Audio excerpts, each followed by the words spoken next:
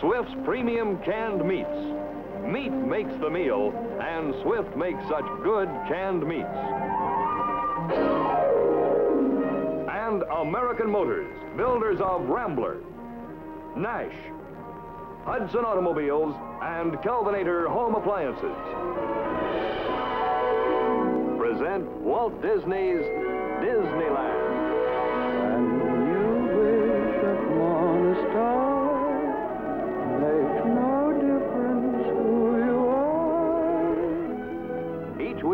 Enter this timeless land, one of these many worlds will open to you. Tomorrowland, promise of things to come. Fantasyland, the happiest kingdom of them all. Frontierland, tall tales and true from the legendary past. Adventureland, the wonder world of nature's own realm. Presenting this week from Adventureland, Behind the Scenes with Fess Parker.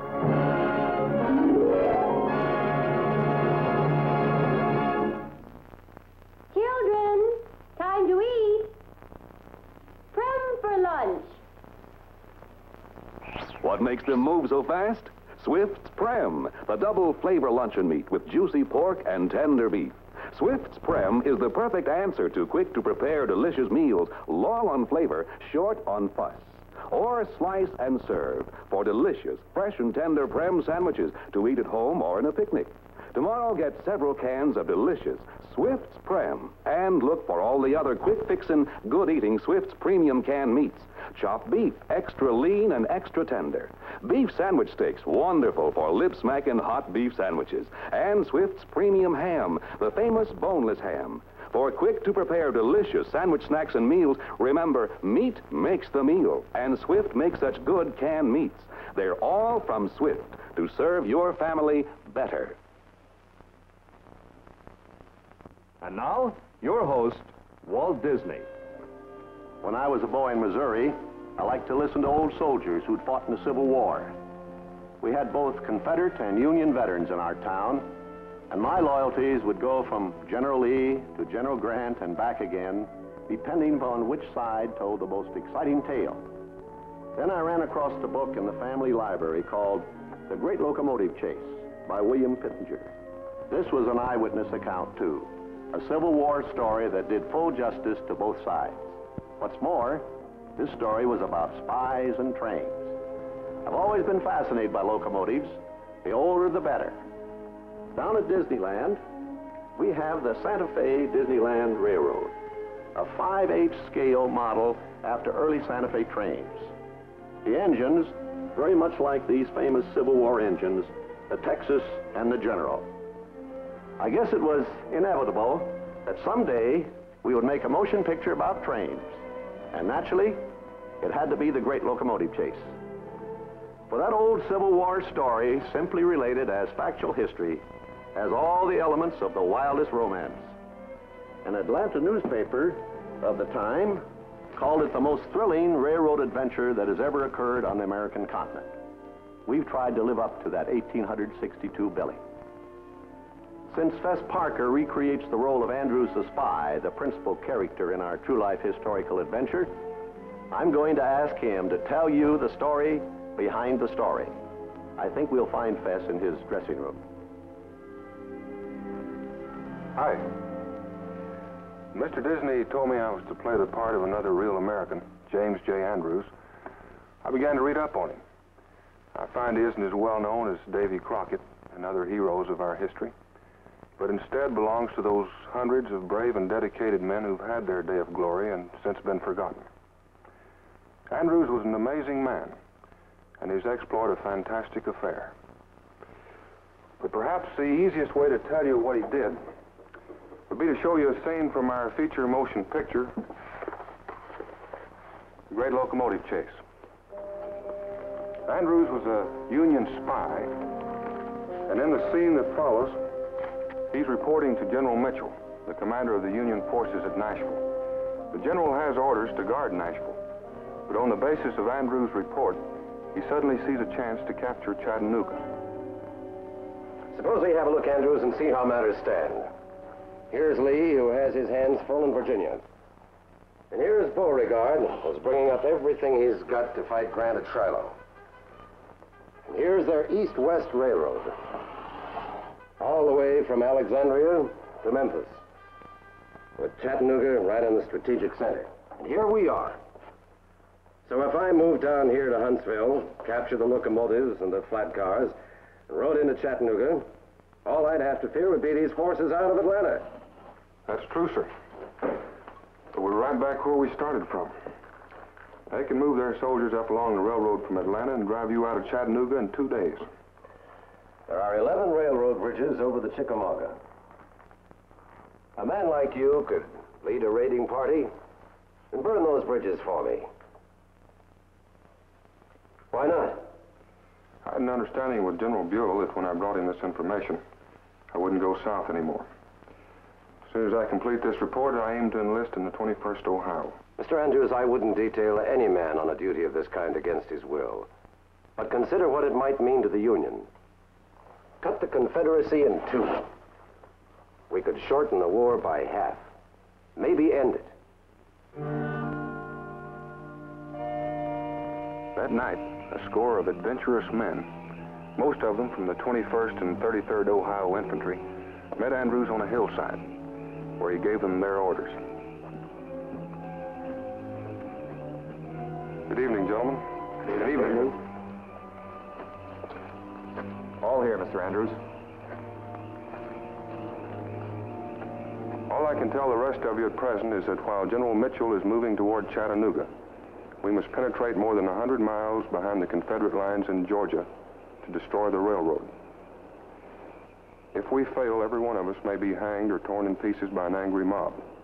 You have no experience at playing the part of spies. Some of you are pretty young. Since we're asking you to volunteer blindly, it won't be considered dishonorable for you to back out now.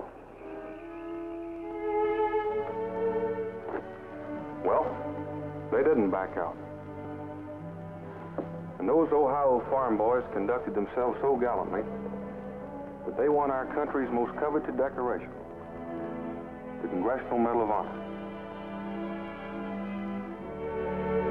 This was the first time the Medal of Honor was ever awarded. That's history. And it plays its part in our motion picture story of the Andrews Raid. But right now we have another story to tell you. The story of how we filmed the great locomotive chase. It's a big job. We had to run the race all over again, and we had to photograph it. I found what went on behind the cameras mighty interesting, and I hope you will too. For a locomotive chase, we had to have the locomotives, of course. One to portray the general, shown here as it looked in 1862, and another to play the Texas of Civil War days. And so we began to search for two old wood burners of the proper vintage. A railroad roundhouse would seem a good place to go looking for a locomotive. And in the yards of the Baltimore and Ohio Railroad, we located the perfect actor for the part of the general. This was the William Mason, an actual Civil War locomotive a 100 years old. Now retired, this proud old campaigner served during the 1860s in the vicinity of Harper's Ferry. We were lucky. We couldn't have found a better type to play the general. Across the continent, meanwhile, in the Union Pacific yards at Los Angeles, the old Inyo was being brought out of retirement for the role of the Texas. Here was another genuine old-timer, this one dating from the days of the Comstock Lode and the Nevada silver mines. Here we had an actor we felt we could count on. In fact, Walt Disney used it once before in his picture, So Dear to My Heart. Our search was over. This was the player to reenact the role of the Texas. But every actor must dress the part. And soon the Disney backlot was filled with cow catchers and headlamps, all the necessary paraphernalia of an 1862 railroad. Soon, paint began to appear on everything. In the old days, headlamps were a special work of art. Indeed, the decorator thought nothing of turning out a genuine oil painting, usually some scene typical of the country through which the locomotive traveled. And the smokestacks had to be touched up too. The so-called balloon stack was the hallmark of the wood-burning locomotive. And that balloon-like screen over the top was to keep embers from escaping and setting the countryside on fire. Topped off with these contraptions, our locomotives really began to get in character. They were almost ready to take the stage, except for one small detail yet to be attended to. In their day, no locomotive was considered ready for public appearance without a nameplate. And so these were provided. Dressed for their roles at last, the recreated general in Texas stood in ancient splendor, gleaming like museum pieces. With their brasswork polished and their wood boxes full and steam up, they were ready for the star performances of their lives.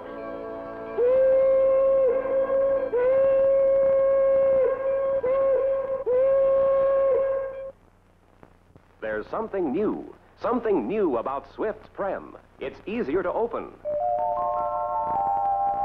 Prem has a new unwinding tape that can't slip off the key. See? It runs in its own channel. New Prem also is easier to get out of the can. Watch this. Just tilt and Prem glides out. No fuss, no bother. All Swift's Prem now comes to you in this new easy open, easy out can.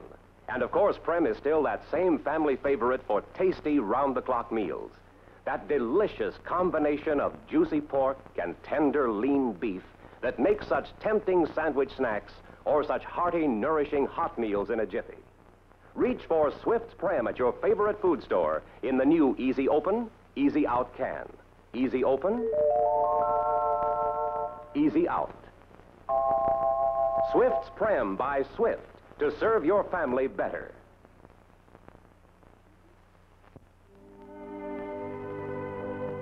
Well, we now had two of our main actors.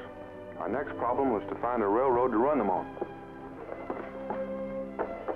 Our story required a single track with a dirt roadbed, old-fashioned telegraph poles carrying a single wire, and stations to match. In fact, it had to be a Civil War railroad.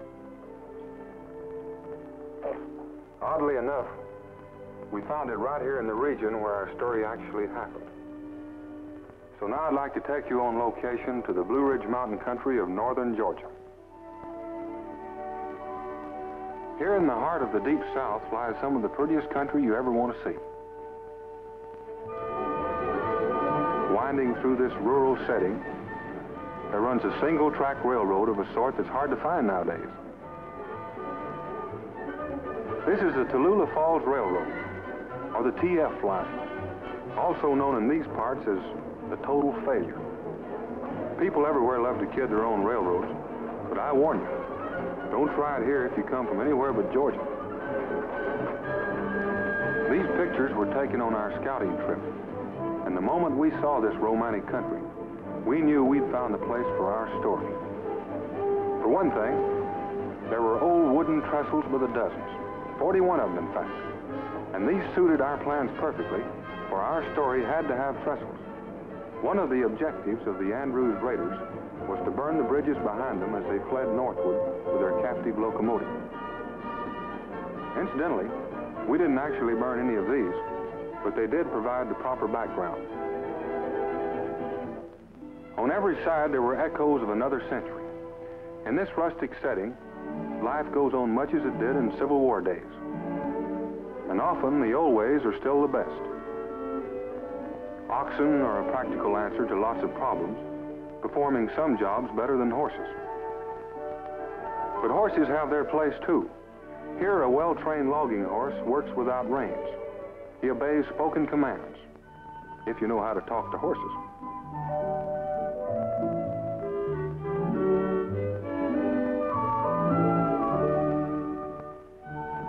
Sorghum country too.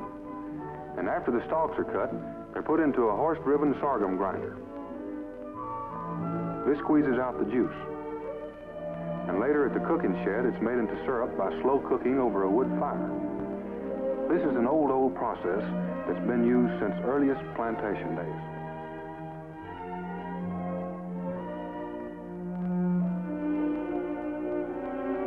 There's a peacefulness to this country that's hard to beat.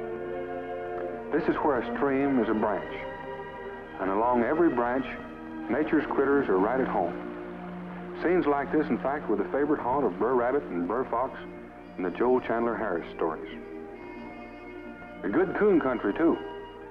There goes the grandson of my old Davy Crockett hat now. If I were still playing that part, I'd grin him right up a tree for you.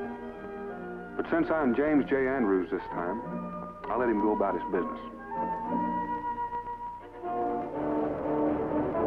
Was in a peaceful setting such as this that the Andrews raid occurred. And so for the time being, the Tallulah Falls Railroad was to become the Western and Atlantic, while we reenacted the great chase of 1862. And here come our locomotives ready to renew the old rivalry. On location, you run into some funny problems, and we had one now. How to get our locomotives off their flat cars. We dug a trench and laid some track in it and ran the flat cars down this ramp until they matched ground level. Then we towed our rolling stock onto the roadbed, and we were ready to go. Well, almost ready. Nobody was sure yet whether our old wood burners could turn out the speed demanded by the story. And we also had to find out if this lightweight track could take such speed. And so a trial run was in order.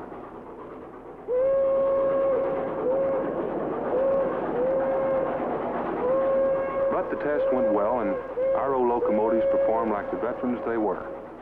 In fact, before our picture was finished, they clocked a thousand miles like this, going at a boiler bursting pace. During the test, the most fascinated spectator was Walt Disney himself. A great fancier of old trains, he made it a point to be on hand to check every factual detail. On location, production problems are endless. Yet Mr. Disney seemed to have time for everything, including on-the-spot interviews. And in return, this visiting drama critic found time to play a part in our motion picture. And to get into the spirit of things, Walt wore a Confederate hat all the time he was on location. In coming to Georgia, we found ourselves on the home grounds of the man who knows most about the great locomotive chase. And it was only natural that he should become our technical advisor during production. His name is Wilbur Kurtz. And here he shows a Confederate soldier how to hold his rifle. Historian, scholar, artist. Wilbur Kurtz is a friendly man. So let's visit him in his studio in Atlanta. Oh, Mr. Kurtz, Hello, Fess. I've been telling these people about your hobby. Is it true you actually knew six members of the Andrews raiding party? Men portrayed by our cast in the great locomotive chase? Yes, I did. Some years ago, I met and talked with six of the surviving raiders. Brown and Knight, the two engineers, William Bensinger, Jacob Parrott, Daniel Dorsey, and John Reed Porter. Mr. Kurtz, you're the recognized authority on this exciting event in the war between the states. How'd you happen to become so interested in it? From reading a story in the old Chicago Record Herald of September 1903. After reading this story, I purchased a Pittenger book. On reading that, I decided that there was a great deal to that story which hadn't gotten into print. Being an artist of sorts, I visualized several incidents of the raid. This represents the locomotive of Texas at the tunnel. Having no opportunity to turn the engine around, they had to pursue the captured general running in reverse. Any other interesting sidelights to the story, Mr. Kurtz? Yes, there has been. This is my grandson, Wilbur Kurtz III. We call him Billy. Hello. Hello, Billy. Mr. Kurtz, do you mean your grandson is part of the story? Well, you might say that. Quite some years back, I came to Atlanta from up north to meet and talk with Captain William A. Fuller, who was the conductor of the train pulled by the locomotive general. While consulting with him, getting his side of the story, I met one of his daughters, Annie Laurie. Later, we married. Billy is my grandson and the great-grandson of Captain William A. Fuller. This represents the locomotive general at Big Shanty. What you see in this picture was described to me by Mrs. J.B. Sewell, the daughter of George Lacey, keeper of the hotel. The uh, type of building of the old hotel, the picket fence, the duck pond, and so forth. Taking our cue from Wilbur Kurtz's painting, we began the construction of the Lacey Hotel at Big Shanty. This was where the chase would begin, the place where Andrews would steal the train. And we wanted it to look completely authentic. So we called in experts in the art of making buildings look old. For instance, porch pillars were shaved and rounded till they looked worn and weathered. The building began to look like the real thing, and already our locomotives were puffing with impatience. The Lacey Hotel of 1862. But wait, there was one thing missing. The whole second story. Well, here was the man to fix that in a hurry. In the profession, he's known as the map artist, and he's capable of some amazing optical illusions.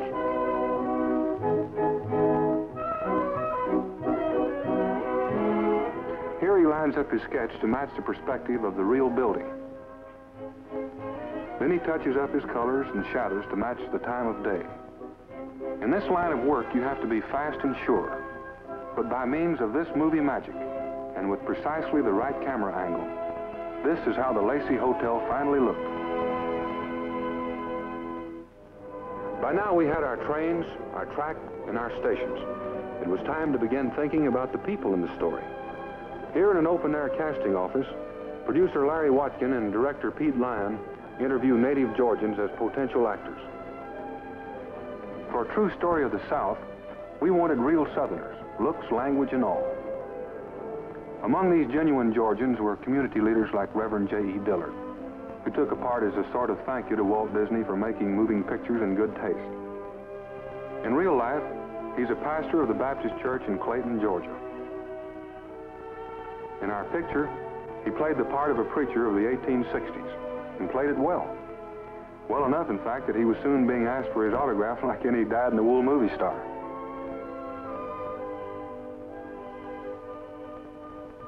For the boy fireman on the Locomotive Texas, we chose a Clayton schoolboy, Doug Bleckley. He's 14, and a hustler. After school hours, he works in a cafe. And sometimes he tries his hand at being an actor.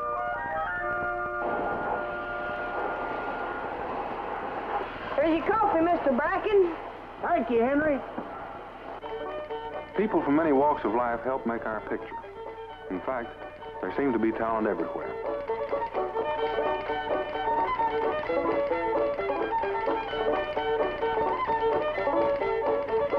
A waitress in real life was our waitress in the Lacey Hotel. Our thespians included a charming lady from Atlanta, a couple of Clayton drugstore clerks, the porter of our hotel, and the owner of the cafe where our boy fireman worked. One of our railroaders was the president of the Clayton Chamber of Commerce. Our recruits included the wife of a local grocer, a salesman whose line was puzzles, and Harvey Hester, who owns one of the most famous restaurants in the South.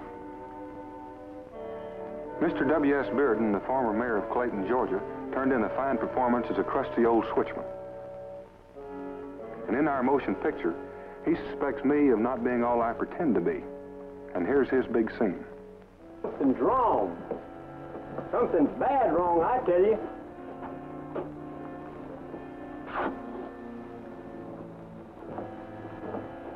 Tell you, I know Bill Fuller. There ain't a better man on the state road. He wouldn't be this late without letting us know. Why don't you telegraph Atlanta and find out? The line to the south's gone dead. Maybe our friend here can tell us why. Throw that switch now. I reckon I will. If you was all that you claim to be, we'd have heard from the superintendent of the road about you. And I ain't a throwing no switch until we do. Maybe you'd like to meet the principals in our cast. Here, I'm playing James J. Andrews in the picture. And here, I'm in the wardrobe department being outfitted for the part. This is quite a change from the Davy Crockett buckskins. The fine clothes of a southern gentleman sure feel good. You know, Andrews was in the Union Secret Service, and in order to carry out the bluff of being a top official on the railroad, he had to dress the part. In 1862, toting these saddlebags was the same as a government official today carrying a dispatch case. Thank you. Too high, Fess. You could never get under the roof of the engine cab. I guess you're right. Folks, this is John Lupton. Casting has been completed, and John's playing the part of William Pittenger. Tell me about it, John. Well, Pittenger was one of the soldiers who volunteered to go along on the Andrews raid. A gentle, sensitive man who later became a minister. He was a constant reader and wrote very well himself.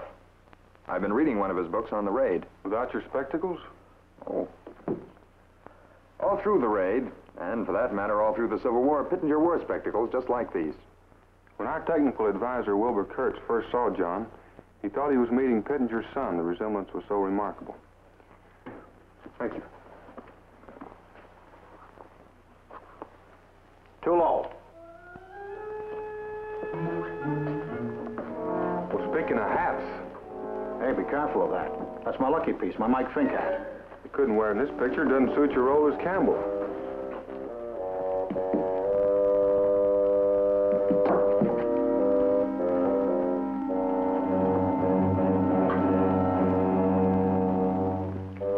That's Jeff York. He played Mike Fink in the last picture we made for Mr. Disney, Davy Crockett's keelboat race. He gave me a lot of trouble then, but maybe it'll be different this time. One southern gentleman to another, Fess. That's a mighty fine-looking outfit you got on. Well, thank you, sir. Well, you're welcome, sir. The Andrews raid would have succeeded without opposition if it hadn't been for a young Confederate conductor, William Fuller, played by Jeff Hunter. Hi, y'all. Jeff, would you like to tell them about your part in the great locomotive chase? Well, I, uh, I really had to do a lot of running after that stolen locomotive. You see, uh, Fuller was 26 at the time, and he was a civilian because his railroad job was of vital importance to the Confederacy. You don't look much like a railroading man to me.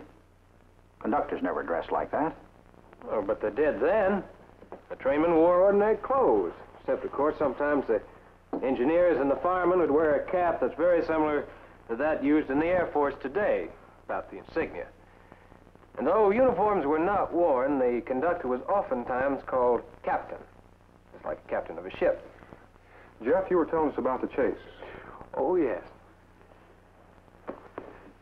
On that morning in 1862, Fuller had been put in charge of a mixed train running from Atlanta to Chattanooga, with the general as his locomotive.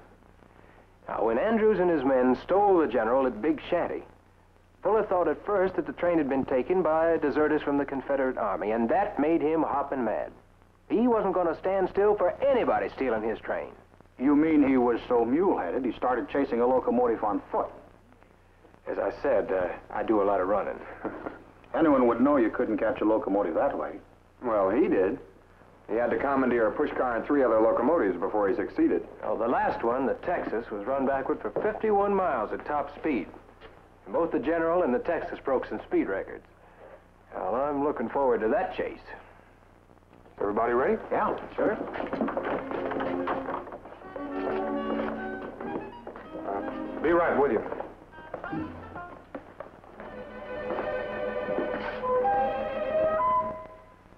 Just for luck.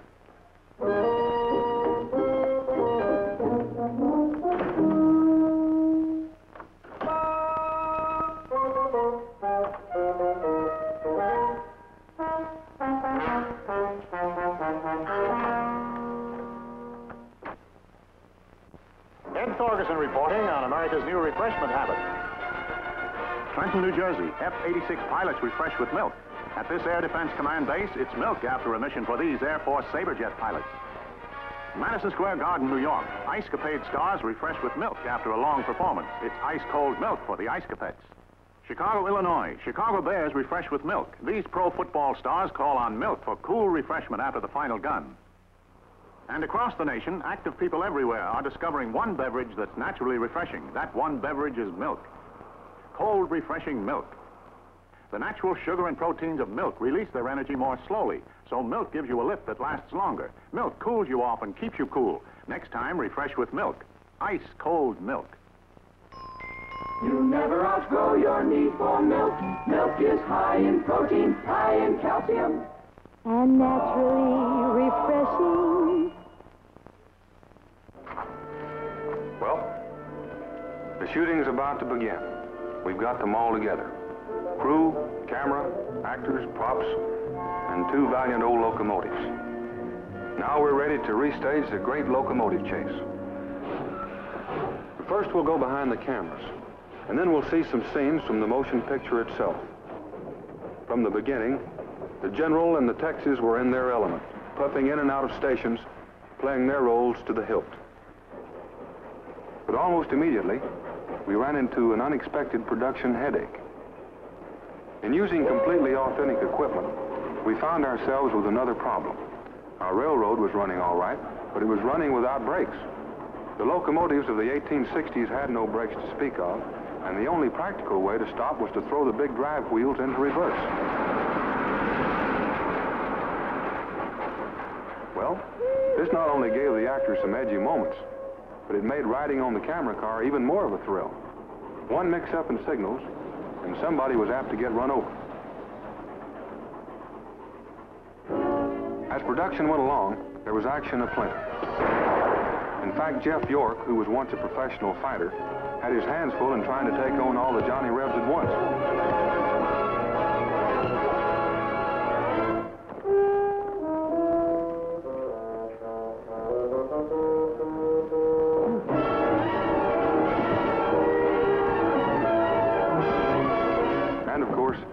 To get my licks in too.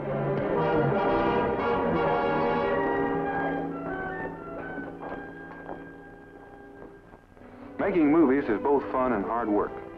And one of the hardest parts, believe it or not, is waiting between shots. That's when you study your lines. Or maybe you try to read your mail while you're being mussed up to fit the action. Then there are endless rehearsals. The men playing the raiders had to practice this scene dozens of times, carrying this heavy railroad rail. And they were more than glad to have Jeff York on their side, because he was strong enough to tote it alone. This is a stunt that takes a giant like Jeff and a prop rail like this.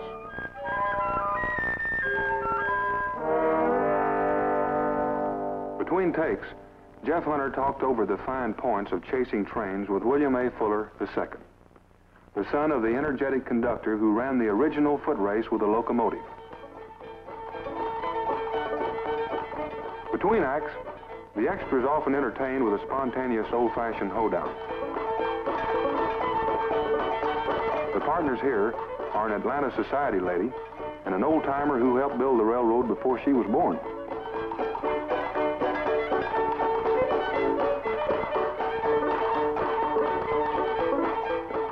Music in the air, I generally went looking for my sidekick, Lennie Geer. He was cast as the fireman who helped me steal the train. And here he's been trimmed up for the part. Lennie's a music man in his off-duty hours, a regular hep cat.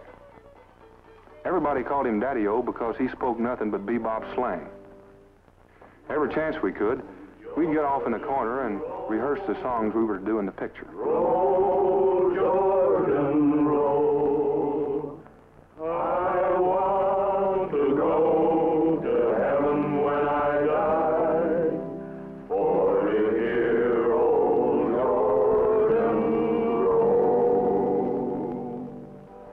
Bad.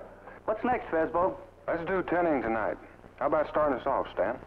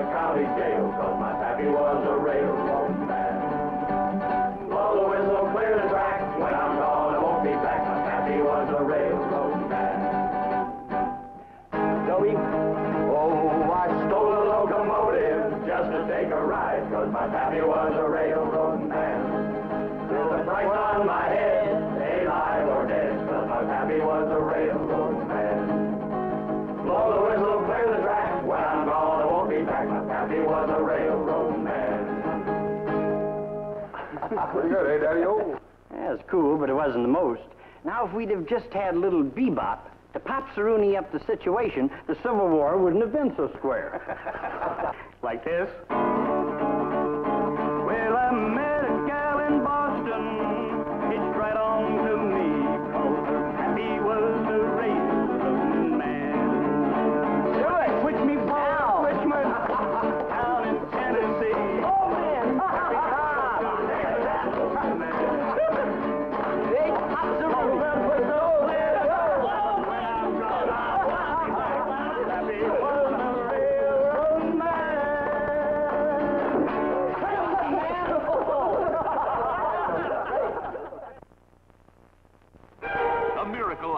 Electronic cooking is here. Yes, electronic cooking is ready for you today. Now you can cook with radio microwaves instead of heat. Bake cupcakes in 30 seconds. Cook eggs without water in 20 seconds. Bake a potato in 4 minutes instead of 45 minutes. It's no dream of the future. It's Kelvinator's electronic range. Out of the laboratory and ready for your kitchen today. You've never seen anything like its incredible speed. And it's so easy to use.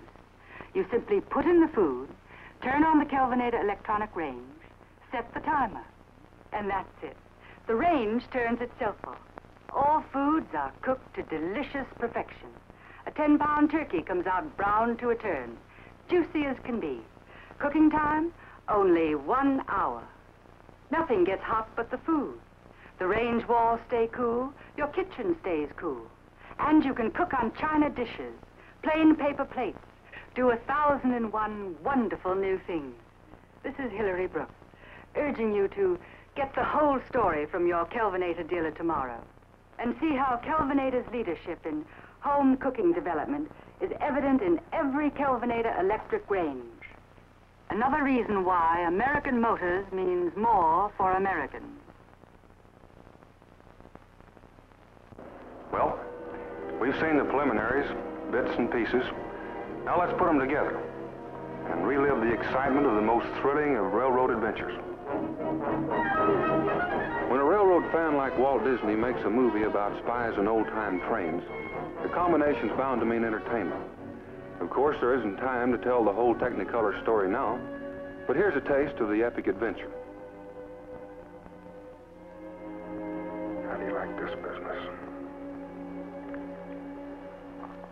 There's one side it I can't get used to. Mr. McIntyre. The widow woman who fed us and gave us her bed. When I deceive him, I feel like the lowest snake that crawls. It's worse when a southerner's your best friend. I go with Jim Lindsay. How do you stand it? I believe in a federal union. So do I.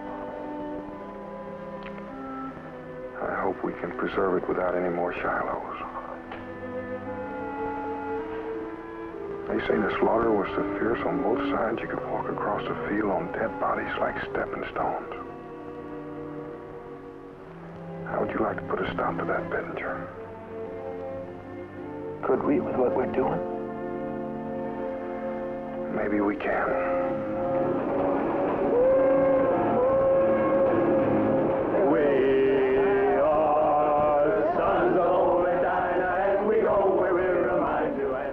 of a spy story is suspense.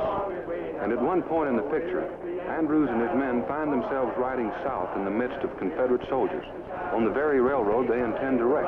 We are thunderbolt and and we go where we're a man to thought. Right now we're inclined to go home and rest ourselves.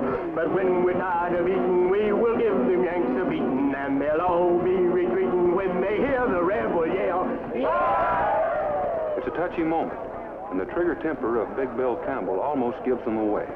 How many Yankees can one Southerner whoop? Five. How many? Ten. That's more like it. Why, one company of Southerners armed with pop guns could run a whole regiment of Yankees clean out of the country. Am I right? Right. You know? No. Thought maybe I'd get your seat. No, just stretching. Look at that kid.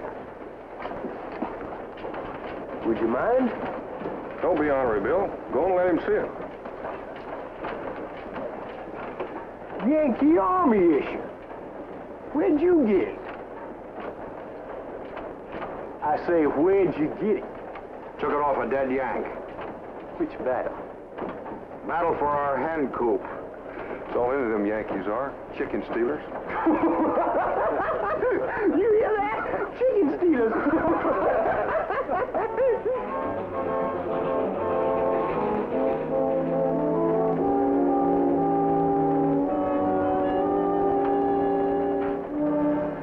Good morning, conductor.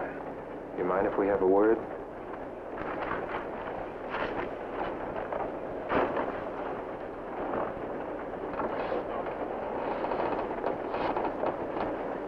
You know about those men? You don't miss much, do you? Not much, Mr. Andrews. You know my name? Where have you ridden the train before? All right. Those men are on government business bound for Yankee land. So am I.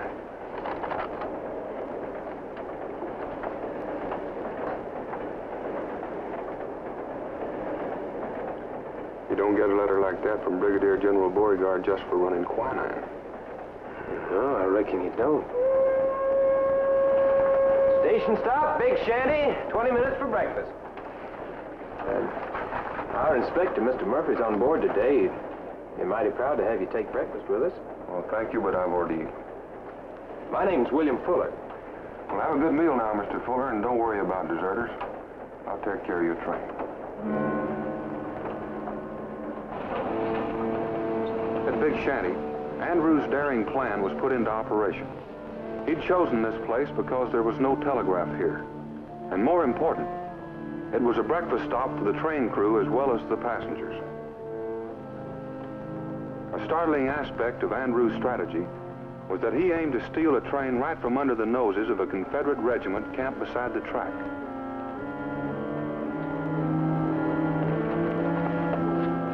This is a historical fact, it happened in real life. And it took a man with ice water in his veins to carry out such a scheme.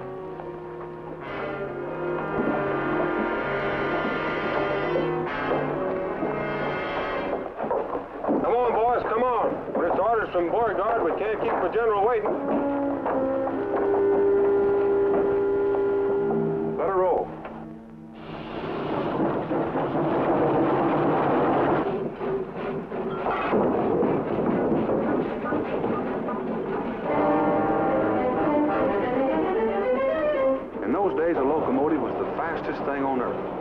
And once underway, the raiders figured nobody could catch them. I stole a locomotive just to take a ride, cause my pappy was a railroad man. But the one thing they hadn't counted on was the stubbornness of William Fuller, the Southern conductor. Fuller knew he had to get another locomotive and get it the hard way. First, he took a handcar from a track crew. Then he commandeered a yard engine. Hold on a minute, Hilly. We gotta borrow your engine. Get in the tender, boys. Take it on in. Open her up, Hilly.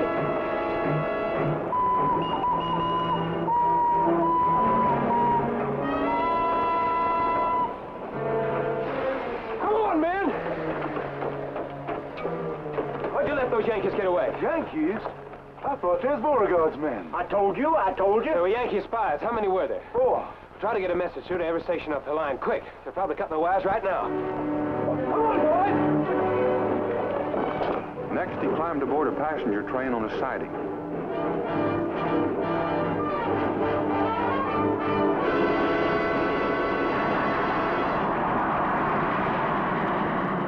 And when he found himself balked by a roadblock the raiders had left behind, it looked as though he was licked. Enter the Texas.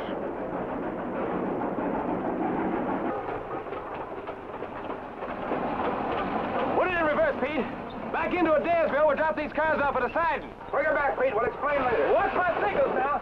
At last, Fuller had a locomotive equal to the Speedy General, and the chase was on.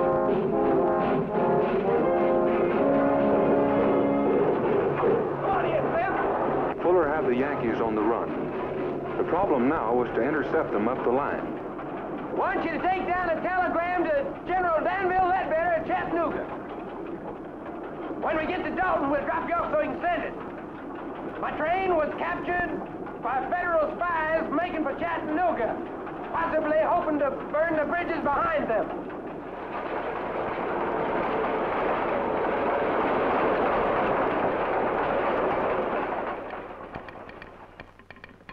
My train was captured by federal spies who are making for Chattanooga, possibly hoping to burn the bridges behind them. If I do not capture them, try to head them off. Signed, William A. Fuller. So that's why Mitchel hasn't attacked me. He wants to be sure those bridges are out. Acknowledge and send this message back. Now cut it to the next pole and take a length with us. Nobody'll catch us then.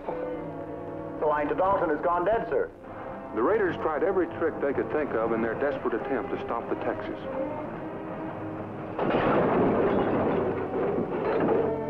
Around a blind curve, Andrews laid another trap.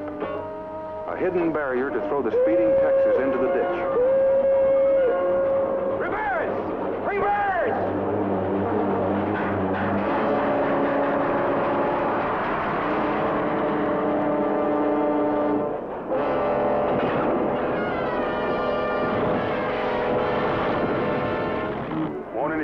That train? Some of Andrews' men began to get discouraged by Andrews' seeming reluctance to fight. As soldiers, they wanted to have it out with their pursuer. It's time the Army showed the Secret Service how to fight. I'm going to stop this train. Campbell, nobody's going to stop this train until we reach the first Chickamauga Bridge. I know it's hard on you men. I've been tempted to stop too. But we can't risk any encounter that might lose us our engine. For even after we burn the bridges, we've got to get through to Mitchel and let him know. You needn't worry about us, Mr. Andrews. Any of us.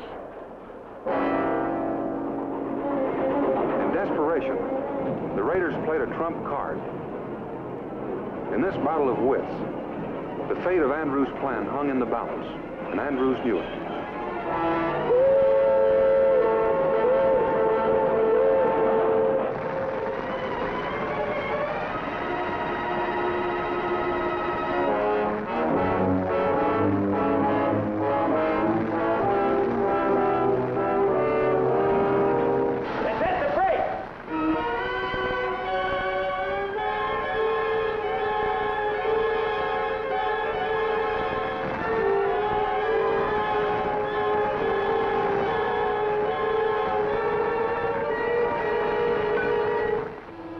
But seemed able to sidestep every disaster. The Raiders hadn't reckoned with his skill as a railroad man. Right? Can you get another mile out of her? I don't know. All right, boys, you've been spoiling for a fight. Might as well have it now. Jump down and get a barricade across the track.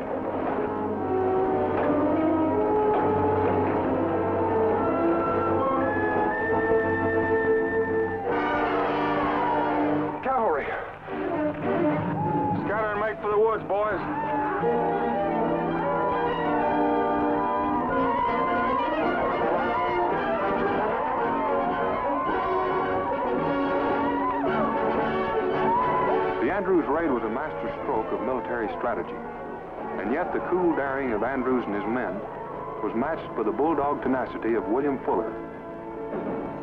The lion-hearted Southern conductor was determined to run the raiders to earth, and run them to earth he did. Why don't you go downstairs and ask the captain of the guard to lend you his master key? Then you'll have something to go by. We're tedding tonight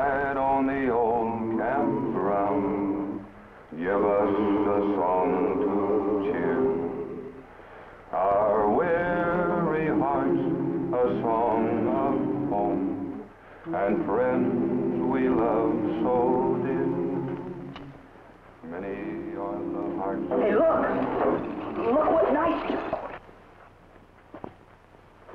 If we try and sneak out of here one by one, only the first will get away. All the rest will be cornered. That's right. How would you go at it, Pittenger? I'd wait until around supper time when it's still light enough to see what we're doing.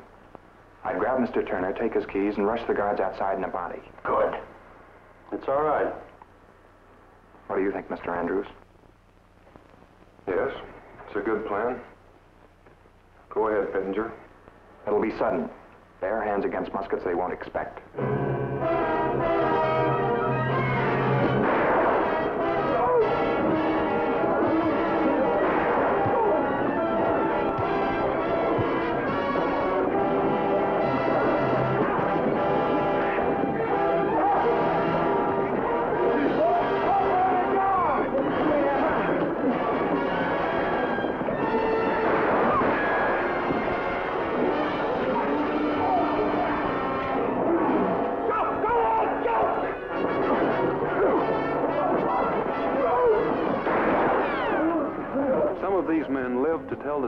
Some did not. Yet they were heroes, every one. You've won for us a new respect, and we are grateful. Congress has, by recent law, prepared a medal to be awarded for conspicuous bravery, the Congressional Medal of Honor. You gentlemen are to have the first ever given.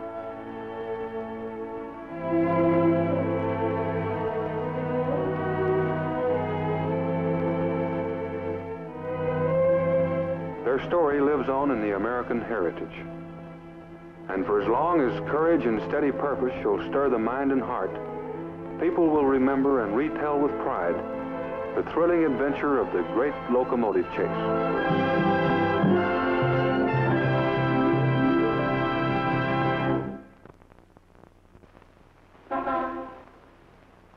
It's a station wagon. It's a four-door. It's a Rambler. Yes, it's the new Rambler Cross Country Station Wagon, smartest new car on the American highway. It's winning more new buyers every day by packing more glamour and more value into one car than was ever thought possible. No car at any price can approach Rambler's distinctive lines or its special charm. None can maneuver like this or turn so easily in so small a space. And most exciting of all, none can equal Rambler for sheer luxury. For example, even on the hottest days, these folks arrive relaxed, fresh from the comfort of Rambler's refrigerated air conditioning. En route, roads turn carpet smooth because Rambler has much deeper coiled springs on all four wheels. There are even airliner reclining seats that go as far down as you like to nap the youngsters or tilt to rest the driver's back. And those spacious seats have plenty of room for six six-footers. Rambler's the perfect family car, a really fine car with all the conveniences you could ask for. Power steering, power brakes, Hydra-Matic transmission. Add to this Rambler's low price, small operating cost, and top trade-in value, and you know why so many thousands are making the smart switch for 56 to Rambler. See the new Rambler cross-country station wagon, the new four-door hardtop sedan, and all the other exciting new Rambler models at your Nash dealers, at your Hudson dealers. Next week, Disneyland will be brought to you by the all-new, all-American Rambler, the smart switch for 56, sold and serviced at all Hudson dealers and Nash dealers of American Motors. And your local dairy farmers in this area through the American Dairy Association, reminding you to drink one, two, three glasses of milk a day. You never outgrow your need for milk.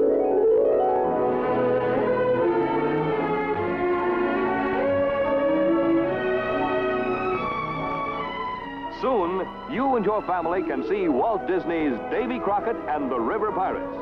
And on the same program, Walt Disney's Man in Space, an amazing featurette of outer space travel of the future. There's action, fun, and adventure when Davy Crockett, king of the wild frontier, clashes with Big Mike Fink, king of the river, in Davy Crockett and the River Pirates, with Fess Parker, Buddy Ebsen, Jeff York. Davy Crockett and the River Pirates, plus Man in Space, both in color by Technicolor. Look in your newspaper for theater names and showtimes. This has been an ABC Television Network film presentation.